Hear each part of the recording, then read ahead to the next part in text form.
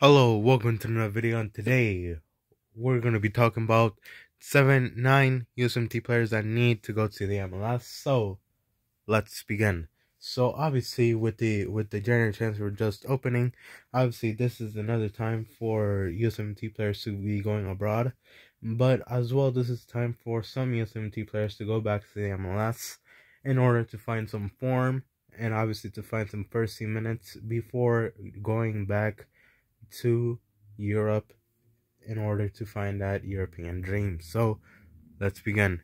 So today we're going to be starting off with Uly Llanez. Ulianas used to be a very promising winger, and obviously he was a he's a pretty creative player as well. Uly Llanez, He played in the 2019 U20 World Cup. He looked very, he looked promising. He was one, like one of the most promising players from that group obviously for me the from the 2019 World, U20 World Cup for me the most promising players were probably were Chris Richards, Sergio Dest, uh, Tim Weah, obviously. Sebastian Soto looks really good as well during that tournament. Most of us would will not forget we're not we're not never forget Sebastian Soto and his performances in that U20 World Cup. Alex Mendez was really promising in that tournament as well as well other players as well were very promising. Uh, Mark McKenzie obviously was part of that group. He was pretty promising as well. Chituru Odunze and David Ochoa, they looked very promising. David Ochoa would later be going to the wanted to represent Mexico later. Julian Araujo was as well part of that group as well. So obviously there was plenty of players. Richie Richie Ledesma. So obviously there was a lot of players that were part of the U twenty World Cup group. But obviously, Llanez has kind of been one of those uh, promising players that has kind of struggled ever since. Uh, Llanez has kind of been going on loan repeatedly, repeatedly. So I do believe a transfer back to the MLS would be doing some good for him. Uh, their Houston Dynamo uh, were one of those teams interested earlier on, and I do believe the team like the Houston Dynamo would be needing a team like Llanez uh, for me, Llanez has kind of been struggling in the second division of Austria, and if you're struggling to get to get into that level, I do believe a transfer back to the MLS can do something good for you. Uh, obviously, for me, I do believe you transferring a transfer back to the MLS, like a team like the Houston Dynamo, can do something good for him. Uh, what are other teams that I can see doing some? San Jose, may San Jose might uh, uh, play him playing as a winger in San Jose might be doing some good for him as well. There's so there's a lot of so there's some some places where it can favor him. Uh, where where are others as well, apart from just San Jose and Houston. I do believe those are the two markets that I can see Llanez thriving because I do believe that it's a pretty good, it's a pretty good um it's a pretty good environment for Llanez to be in. So yeah, now let's just go to the next player, which is going to be Tyler Boyd. So Tyler Boyd used to be a, a, in the U twenty in the twenty in our squad. Uh, he was in the twenty nineteen Gold Cup. Uh, he was pretty alright during that tournament, but whenever we faced like actual competition, obviously Tyler Boyd was well, he was invisible. Invisible. He was invisible. Tyler Boyd was nowhere to be seen when he was playing against actual competition. Uh, he had one good season in Turkey, but after that, he has kind of like been struggling all ever since. And I do believe a transfer bit to the MLS can do something good for Tyler Boyd in his career. He can find some stability. He can become a role player. He can secure some minutes, and more importantly, some first team minutes. So there are some spots where I can see him thriving. Uh, obviously St. Louis City, obviously one of those expansion teams. Say, um, an expansion team is where he can thrive in since they don't have a lot of players.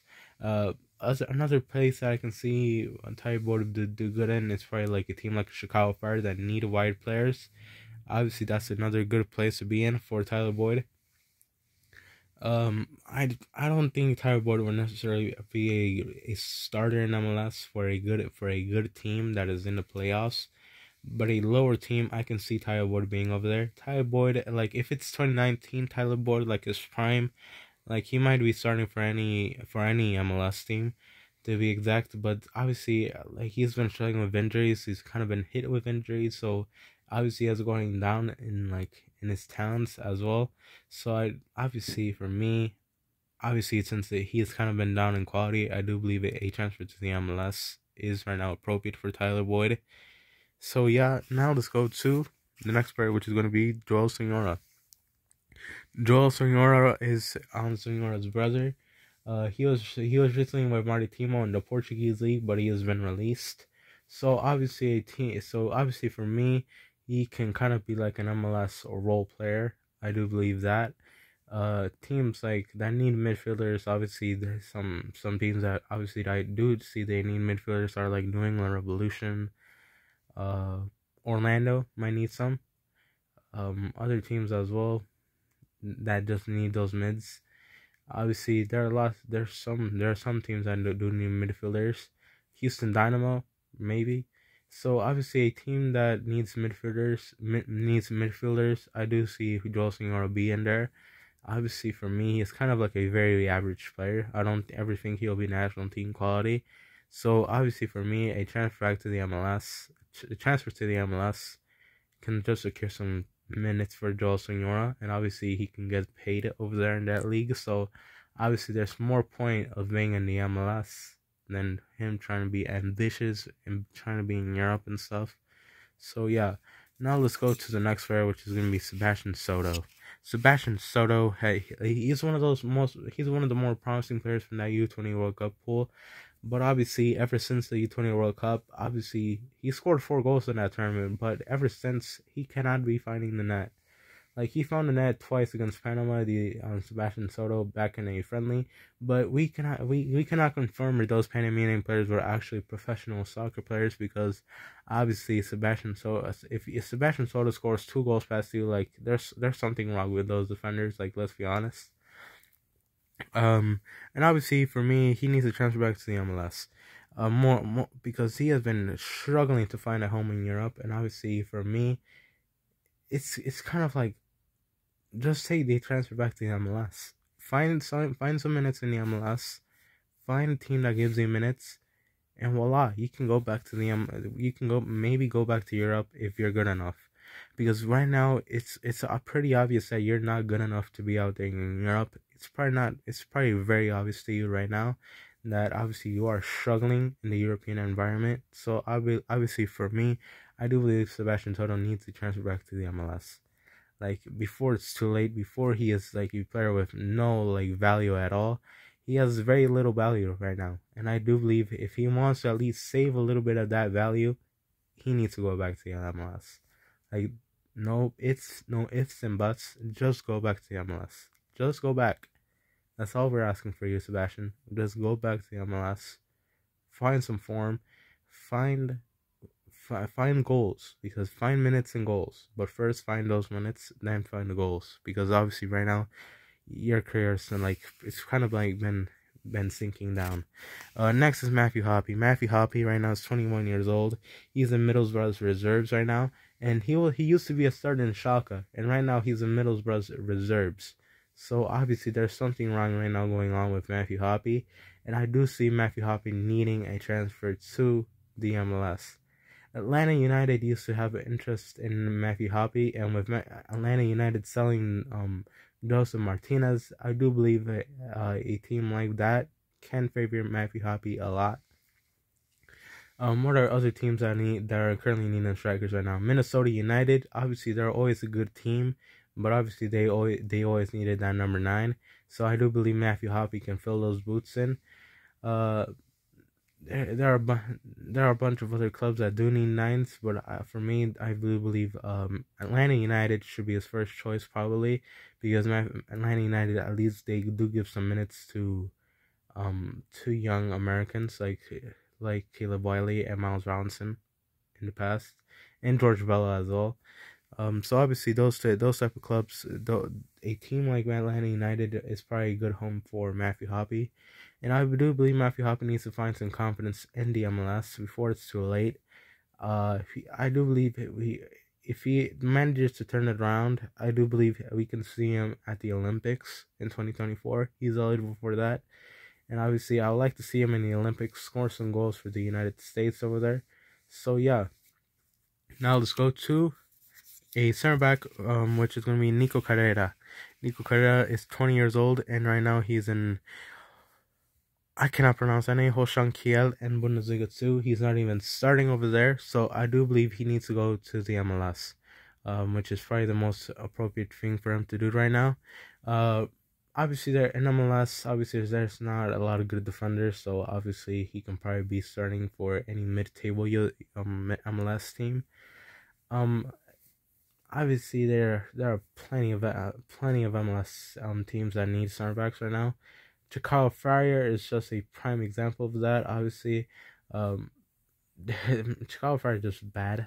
Honestly, all around bad. If bad, uh, if you have Gaga Slonina in goal and they're still scoring a lot of goals past you, there's something wrong with those defenders, man. Like, obviously Nico Carrera, I can I can see him getting those minutes. And Chicago Fire, honestly, any any defender can get any defender with a little bit of quality can get a lot of minutes in, in Chicago Fire. Let's be honest. Uh, obviously, right now, Nico Carrera has kind of been talking with Johan Gomez on a podcast, talking about what what team he should choose and all of that stuff. But I think he should first focus on getting those first few minutes and obviously performing before he makes um, comments about him. Going, going, choosing whatever whatever nation he wants to because obviously for me, obviously Nico Carrera has currently not shown anything to do to deserve that.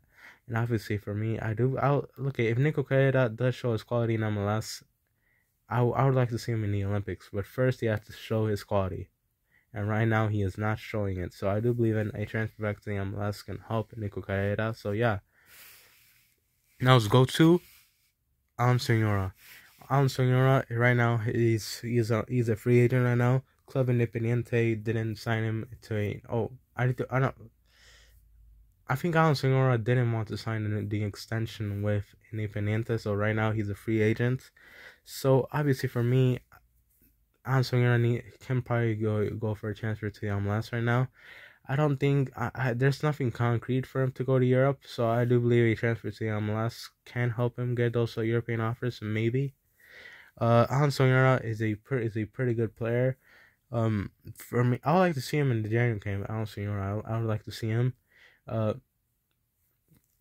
um, Montreal currently ha- is the is the is like the the team that currently wants him the most, and I do believe it kind of does make sense for Alan Soñora. Um, Montreal lost, lost both of their cams, Jordan Mihailovic and Ismail Kone. So right now, I do believe that a transfer like that can help Alan Soñora first get a lot of team minutes and two to show how how how creative he really is because Alan Soñora is a really creative player with the ball on his feet. So for me, I do believe that he should go to Montreal um to for to to show his quality over there. Um, there are current, there are lots of South American players that go to the go that go to MLS and later dominate um, like the Argentinian that uh, Atlanta United signed last season, Almada, I believe that's what his name is.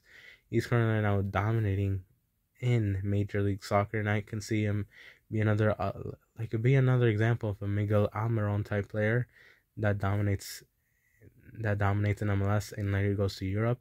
So that can happen later for Alan Soñora. So yeah, now let's go to Bryang Kayo. Bryang Kayo right now has been struggling to find first team minutes in Europe right now, and I do believe a transfer back to the MLS, transfer to the MLS would do good for him. Um, he was in the U17 World Cup in 2019 with the USMNT, um, but he has kind of like really struggled to find those minutes in Europe and abroad. So for me, he needs to go back to the MLS before it's too late. Like Wolfsburg cannot kill another career. And I and if you're Bryang Kayo, you need to make sure you get a transfer back to the MLS. You should be getting a transfer back to the MLS because right now playing in those lower like playing in the like in the academies like playing in the in the I don't know in the a lower division teams like, like you're not gonna get a lot of exposure with that and obviously and obviously like it's gonna be very hard for other teams to want you and and to my into like make you want to get those minutes because obviously playing in a lower lower division team kind of like it's probably not, not doing too good for him right now. So I do believe a transfer transfer to the MLS would do good for Bryang Kayo. So obviously enough obviously if you're Bryang Kayo, you don't you do not want to waste your career like Sebastian Soto and Uly Llanez are doing right now. And he currently does have the age right now where he can get go go get that transfer to MLS, do good over there, and then he because he's twenty, he's twenty years old. My my man is twenty years old, so obviously if you're him, why not just go to back to the why not just go to the MLS and show quality over there? Teams like the Chicago Fire um need those midfielders. Uh, New England Revolution they need midfielders as well. Uh, a lot of teams need a lot need midfielders in the MLS, and uh, obviously he needs to go back to the MLS because obviously he cannot wait until he's like he's 20, 22, 23, and he is still not getting minutes, and that's kind of killing his career. Like he doesn't he, he I don't want him to wait that long. He can't, he has to do it right now. He has to do it right now. And for at last, we have we end this with Konrad De La Fuente. Is right now at Olympiacos on loan from Marseille, and obviously he has struggled a lot.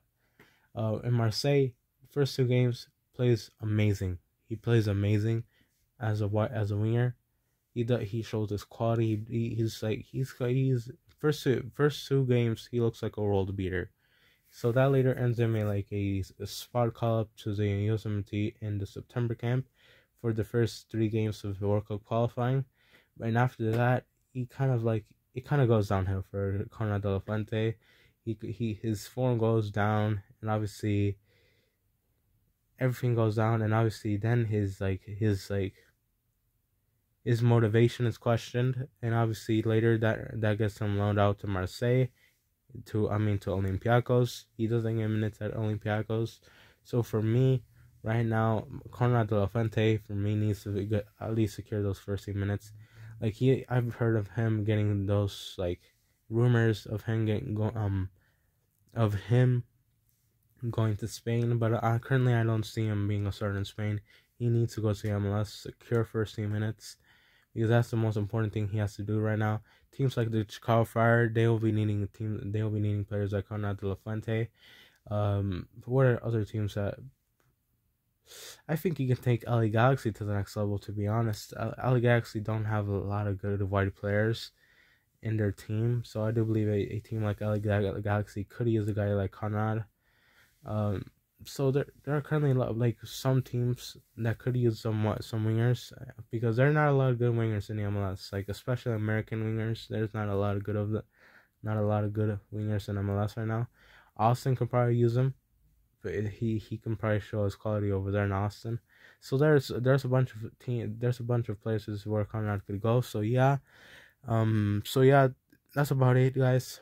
Thank you guys for watching. We'll see you guys in the next video. Adios. Bye bye.